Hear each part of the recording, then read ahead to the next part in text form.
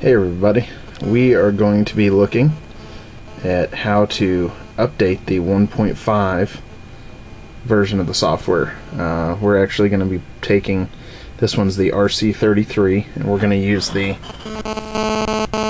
livecrunch.com update so I have proof if it works or not. So this is my G1, very basic plain Jane. So what I'm going to do is I'm going to set it down here since I'm working one-handed take my USB cable, you know, the standard USB cable. I'm going to plug it into my G1. Okay, so now that's plugged in. We're going to get a little icon right there. So what I'm going to do, thumb down, mount. You see that right there. You mount it and it's now like a hard drive. Okay. So as you can tell, I'm running Linux. And so I'm going to go ahead and tell it to cancel this. Now it says you have to do it on Windows PC or Mac. Um, I do have one of each. Um, but I decided to try it here. So I've already gone and downloaded the update, which I'm now going to rename. We're going to name it up update. It's going to be update.zip. And now I'm going to go and open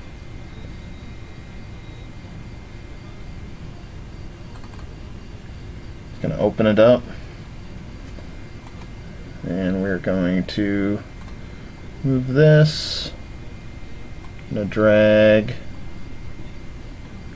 into here and drop it straight in the root partition of the SD card. Then what I got to do is actually go ahead and unmount it.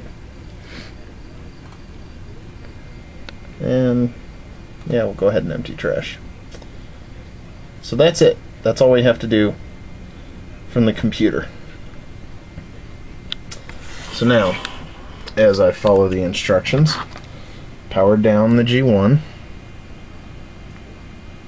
Power it off. Yes.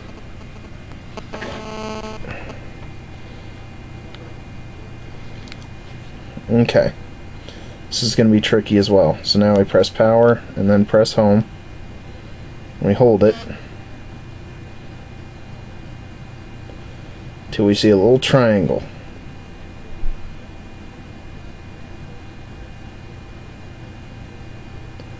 There it is. Alt L Alt S and it's going through the update okay? You'll see this little icon. Alright so I'm going to set this down so nothing can happen to it. And I'll be back. It'll probably be close to about two or three minutes but uh, actually it looks like it's going to be close to about 10 but you won't notice a difference. Alright guys, it's been a couple minutes. Um, as you can see, the bar still has a little bit to go.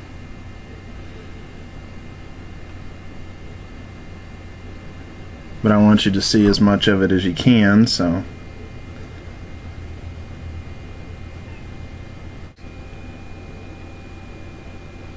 Installation complete press home plus back to reboot. So I did that. Press and hold home and back.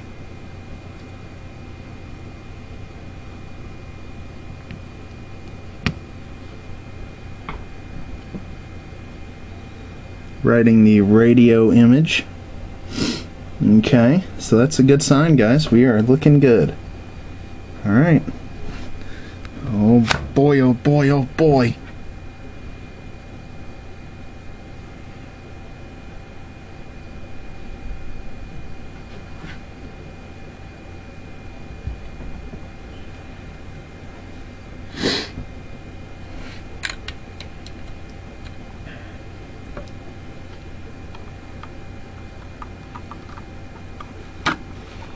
Oh, so it's actually doing it now.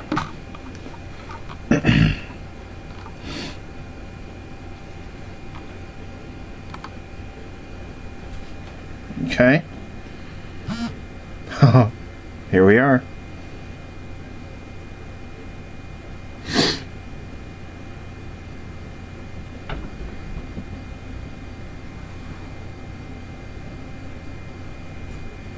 T-Mobile G1.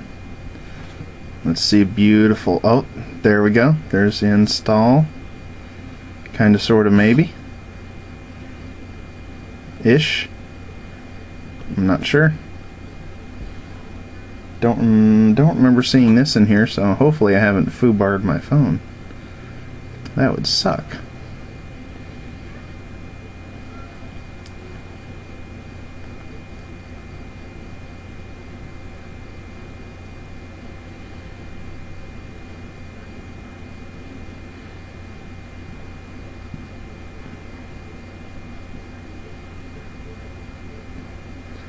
Oh, look at that.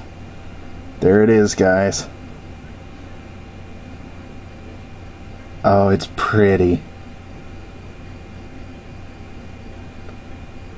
Oh my goodness.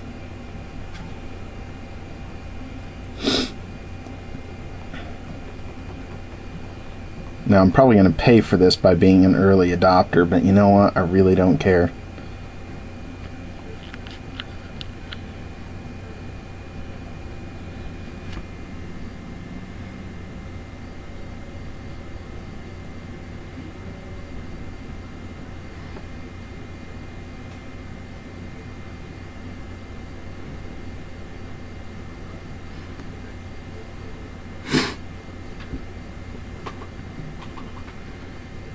Mm-hmm. Taking a little bit longer to load up. Oh, lights. We have lights. We have lights. And... Oh, look at that. Get service. Come on. Get service. T-Mobile. Oh, let's look at this. It saved it. Mm-hmm. Oh, look at that. Guess what? Oh, browser.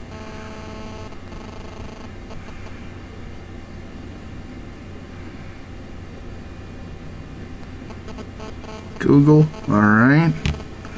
Uh, let's see this on screen keyboard. There it is. Look at that. Alright. Let's go home. Let's see what new is in here. Camcorder. Can record myself recording myself now.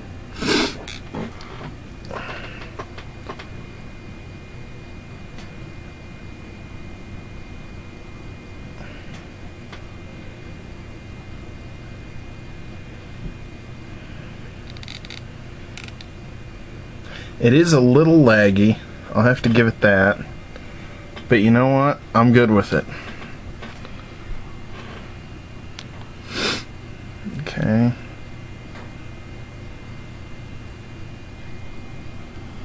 Okay. That is 1.5. I'm sorry for the picture quality. There we go.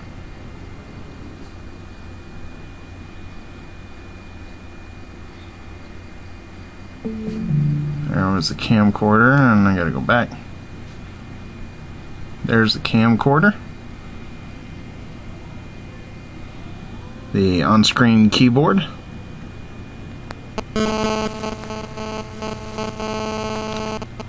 I'm up to 1.5. So, again, I can't thank these guys enough. Go to livecrunch.com. Look up the article that was done on the 27th. Go ahead and, if you want, just type in update G1 manually. Make sure it's the US version as it states right here. This is the Cupcake US version. Okay? And that's it. So enjoy.